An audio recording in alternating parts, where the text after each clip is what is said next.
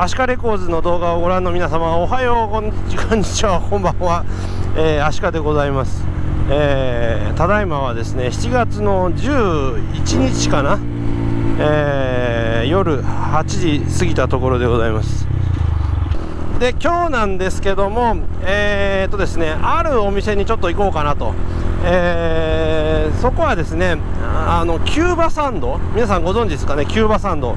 を出してる店なんですよね。というのもねシェフという映画、えー、ご存知かと思うんですけどご存知の方もおられると思うんですけどねアマプラとかで見れるのかな今でも。あのー、三つ星シェフの、えー、なキッチンカーみたいなねサブタイトルがついた映画なんですけどまあ料理人の話でねその中でねキューバサンドの、えー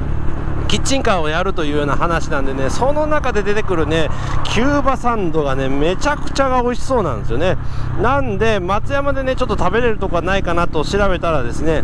市駅付近のですねあの堀端のところで、えー、にあるお店がですねキューバサンドを提供しているということを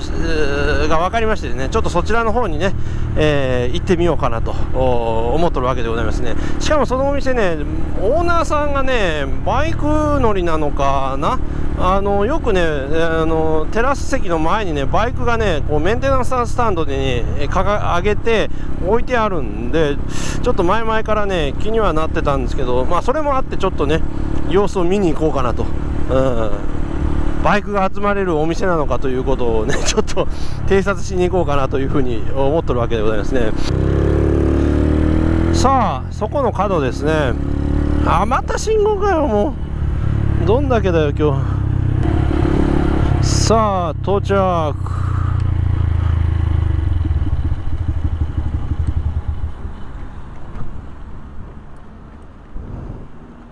うん。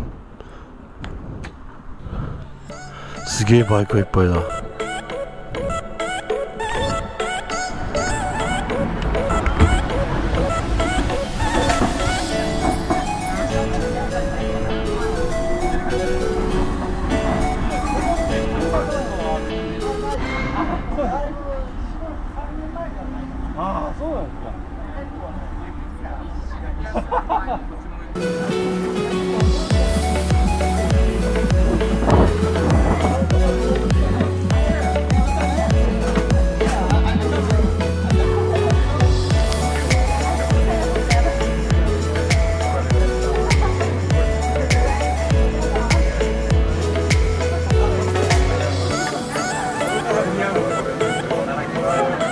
でね、飯食ってたらですね、店主のハリーさんがね、声かけてくださいましてですね、いろいろお話しすることができたんですね。で、店主のハリーさんね、いろいろね、活動されててですね、初心者のバイクの講習会であったりとかね、マスツーリングであったり、あと古民家とかのね、えー、運営もされてるらしいんですよね。その中でもね、俺がね、いいなと思ったのがね、マス2なんですね。えー、YouTube のチャンネルの方もお持ちで、今最近、一番最近に上がってる動画がですね、四国の、えー、カルストまでのツーリングなんですけど、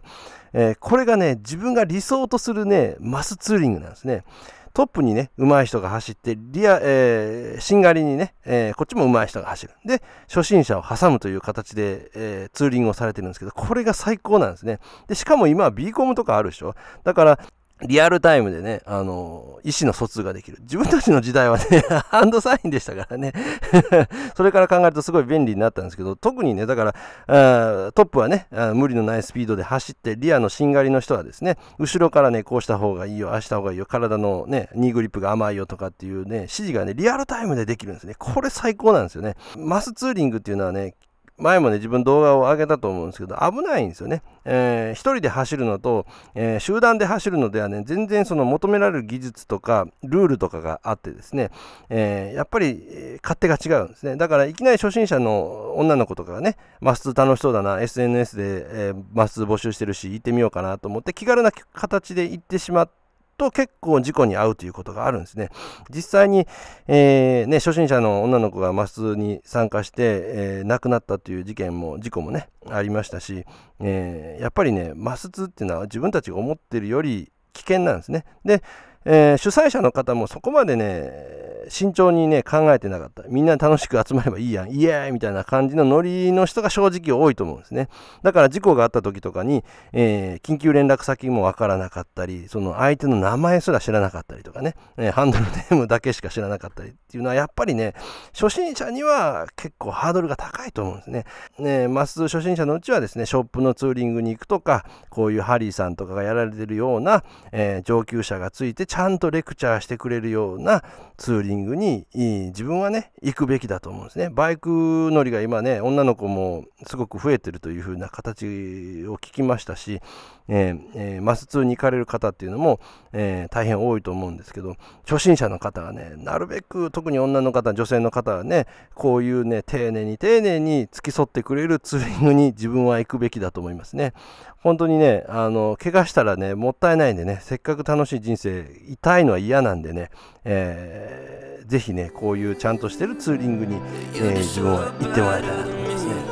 ぜひ気になる方はハリさんのお店に行ってみましょう。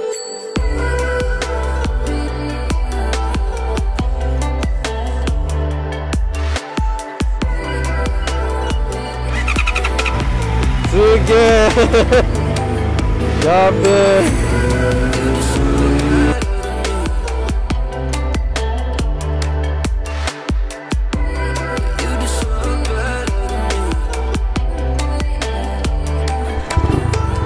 ありがとうございました。ありがとうございました。